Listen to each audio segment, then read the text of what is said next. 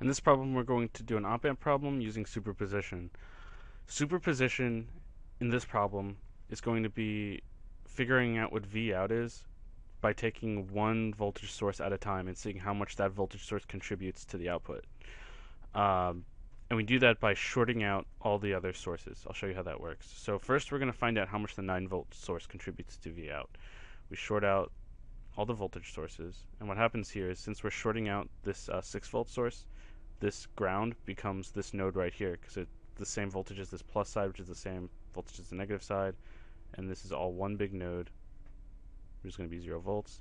And since this node is 0 volts, we have 0 volts for the 30k, 20, 30, and 40k resistors.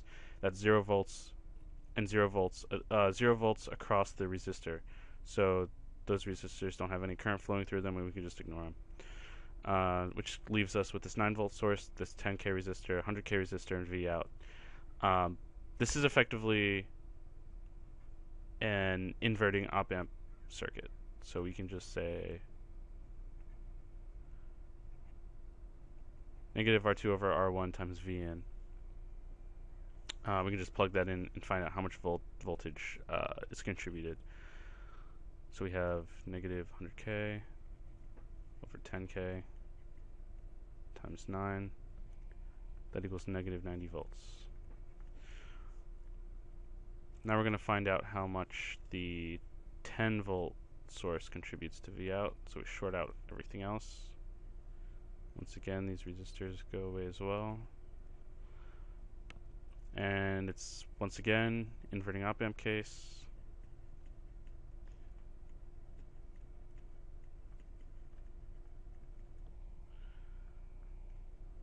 And that's going to be negative 50 volts from the 10 volt resistor or uh, voltage source.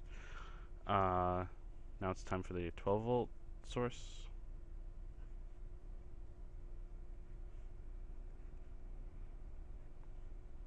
Uh, same formula as before. Except this time our polarity is flipped. We have negative here and positive there, which means it contributes negative 12 volts. And that's going to be 40. Um, and now for for the 6 volt source, um, unlike before, so before we would have 0 volts across resistors because we had 0 volts at this node. I'll highlight this node again.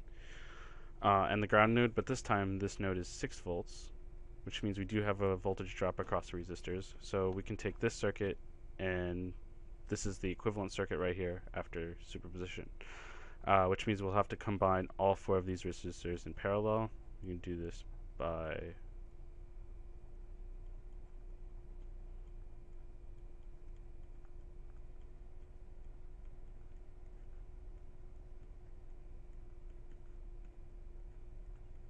using this formula and we'll find out the total resistance is going to equal 4,800 ohms.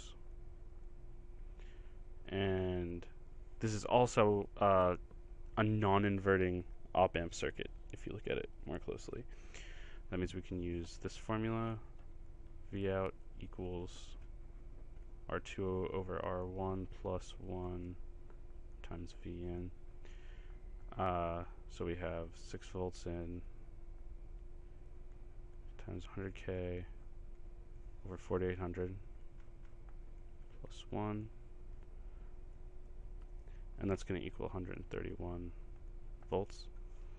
Uh, so now we can go back and add up all the the voltages from all the different voltage sources. So that's negative 90 volts, negative 50, positive 40, positive 131. We'll add all those up right here. So negative 90, negative 50, 40, 131. We add those together, we get 31 volts. And that's our answer for V out.